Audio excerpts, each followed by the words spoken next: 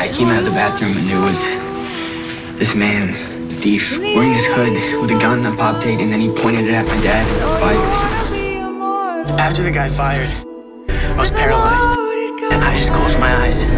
But I didn't open them until I heard the bell. I was a coward. And now me and my dad were witnesses. Pop Tate too. What if he comes back? Shots fired. Pain. Dad's in the hospital. There's something I haven't told you. Or anyone. Because I'm so ashamed. It was a robbery. And that he was shot. How do we I don't know what's gonna happen, Mom, but I think you should come here as soon as you can. In case we have to say goodbye. My God.